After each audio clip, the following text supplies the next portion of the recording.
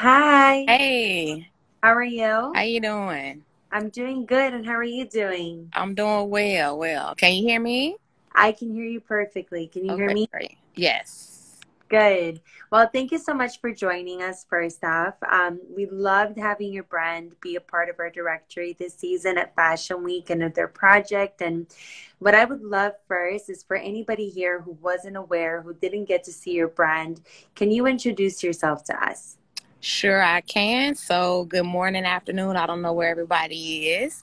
Um, my name is Nicole Brown, and my brand is Ruth Nathan's. And we create bow ties, pocket squares, lapel flowers, and masks for the Urban Peacock. Um, I'm trying to see if my bow tie's in the frame. I don't know. I think. No, you're perfect. Okay. Um, yes. And so it's just for people who like to stand out, who don't mind to be the best dressed, even if it's just to go to the grocery store. And yeah, that's um, basically the gist of my brand. We create our own prints and we're sustainably sourced, and everything is made in New York. That's amazing. I love it. And what got you inspired to start this brand and specifically focus on those accessories? Um, what what was like the aha moment that you had? So what got me inspired was actually uh, both sides of my grandparents, on my mother's and my father's side. Um, but my mother's father is Nathan, so the brand is Ruth Nathan's, and um, he was a tailor, and he just got me excited to for having people to dress nicely, like no matter where you were going, to always be proud of how you were dressed, and that's how I basically got going with the idea. hmm That's amazing. And how long ago did you start the brand? In 2015. 20. Wow, so it's been a while. Congratulations. I know it's a really hard industry. What would you say to other designers because you mentioned sustainable and I think that's amazing that it's sustainably sourced. So what would you say to designers that maybe want to come in but they are having like hiccups? It's it's easy to get discouraged in an industry like the fashion industry. So what kind of kept you going to get to where you are today? What was your I guess, you know, what, what yeah, what was your push? Um, my push to keep going in sustainability or just overall? Just overall, just you know, get your brand going, and also I know sustainability is a hard thing to also adopt. So just overall, like what what was your drive in the tough days? Because as an entrepreneur, we have tough days, it's ups and downs. But Mhm. what keeps pushing you when there are the downs in entrepreneurship in this journey? Um, I just try to stay focused on my why, which is most definitely to honor my family's name and then also to just bring the fun back to dressing because, of course, like COVID, everybody was like, okay, well, it doesn't matter. I'm just going to wear the same thing this whole week. But, you know, just something to make you excited to get outside and put something nice on. Yeah. But uh yeah and then the sustainability part also um what kept me going with that is i just wanted to make sure that i wasn't creating a bigger problem in fashion because of course fashion is uh in general a wasteful industry because of how stuff is made and um how things are so disposable sometimes. But i wanted to make sure that my prints were made well so that it wasn't something that would fade very quickly and then also um, something that would last in terms of the sewing, so the craftsmanship on it too. Amazing. So I have a question because you create things for people to look their very best when they go somewhere. That's amazing. A lot of people are, you know, like you said, COVID got everybody to kind of, you know, be in sweatpants all day long and just like casual wear. So how on the marketing side, how is it that you, I guess, give us a little bit of insight of how you approach that, you know, maybe someone who isn't a consumer yet. Like what mm-hmm. would you say to them? Like, you know, why like what what is it about like wearing your pieces and what is it gonna make them feel if they are not used to dressing in that way, if they're not used to kind of styling themselves? Like what would you tell people, you know, yeah, just just give me a little bit of like a marketing, I guess, like angle on why people that are not dressing up should start dressing up and how does wearing one of your pieces make them feel? Okay.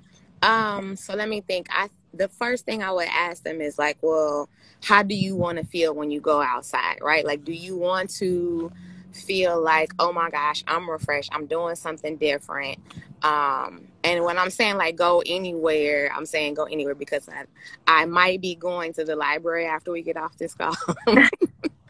so it's like, oh, I'm going to the library with the bow tie on. Um, but um, it's just so much as like you want your everybody who sees you is usually their first impression, right?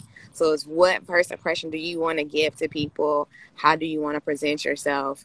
Um, and then in the case of if you're not used to wearing bow ties, if you're not used to wearing pocket squares, I mean, right now this is a shirt and I have on a dress. So it's something that you don't have to be like, oh, I don't wear three piece suits or I don't wear, um, you know, a lot of things with the collars.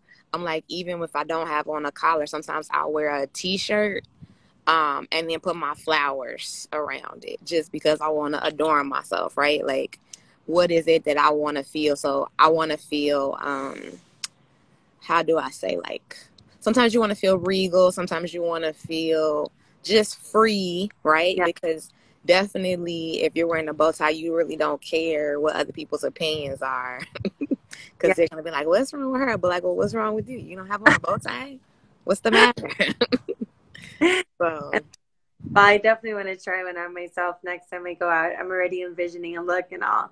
And I actually have one to introduce you to that just came to mind, but we'll do that offline. Um, okay. And then I wanted to ask you the last thing you mentioned you manufacture in New York, mm-hmm. um, manufacturing. So why did you choose New York? Why did you choose to be local when it comes to the manufacturing? You know, what kind of pushed you that way? Um, I did not want to be caught with product overseas and then have to fulfill an order. And I'm like, oh shoot, that's not gonna come for another two months. And yeah. I've worked at companies before where they had shipments held up, and then there's the barrier of time zones, and then just like too much back and forth. And I was like, I need something that I can be able to hop on the train and get, or if I need to mail something one way or the other, at least like it won't take a month to get there. So yeah, yeah, no, that makes sense. That's amazing. Where can people find you? Where can people shop your stuff? Are you just e-commerce? Are you brick and mortar? Are you both? Um, right now, the only place you can find me in a store, but it's not a um, regular retail store. It's actually an art gallery in Milwaukee. Okay. It's called Five Points Art Gallery. So that's the only local place you can walk up for now. Um, I will be in um, Brooklyn Beauty Labo. It's in Park Slope. Uh, that's coming up later this fall. And then I'm also online. You can shop through um, the Instagram or my Facebook and also um, on ruthnathans.com. Fantastic. We're actually going to save this, and anybody who watches, if they want to reach out to you, if they want to connect with you, is there a better way to do that? Should you just go on our website and send you a message there? What would be the best way for people to reach out to you? Um, the website will have it um, where you can message me, but I can just give out. It's my email is Nicole at ruthnathans.com. And also, I answer uh, my messages in Instagram as well.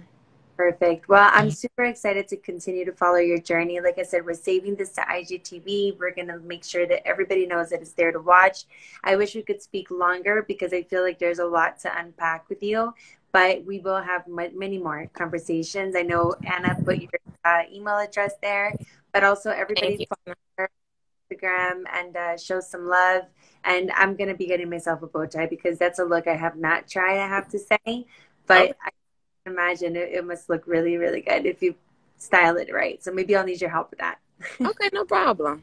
Thank you so much for your time. Have a very lovely nice to be here. Thank you. Friend, really, really amazing.